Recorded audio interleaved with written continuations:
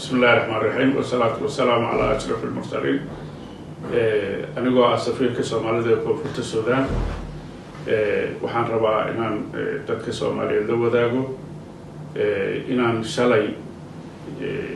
xaflad ballaaran oo lagu qabtay xarunta ururka islaamka ee koonfurta suudaan oo jaaliyadda soomaaliyeed ama guddiga ganacsatada soomaaliyeed ay raashin shan iyo labaatan tana oo ay ugu talagaleen walaalahooda daadadka halakeeyeen ay ugu deeqeen ina in xafladaasi aan ku wareej kula wareejinay raashinkaasi madaxweyne ku-xigeenka xuseen cabdilbaaqi oo xafladda nagala soo qeyb galay. Waxaa kaloo ka soo qeyb galay wasiirada arrimaha baarlamaanka iyo warfaafinta iyo madax kaloo aada u tiro badan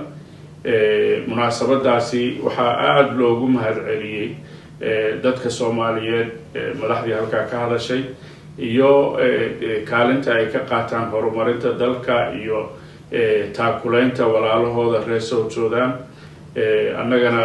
runtii qeyb baan ka qaadanay diyaarinteedii iyo guddiga ganacsatada oo guddoomiye u yahay saciid jaamac. Dowr fiican oo aada u muunigsan ayay ka qaateen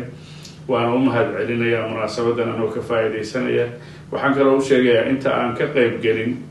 munaasabadaasi inay gacan ka geystaan inay ku talagalaan inay ka geystaan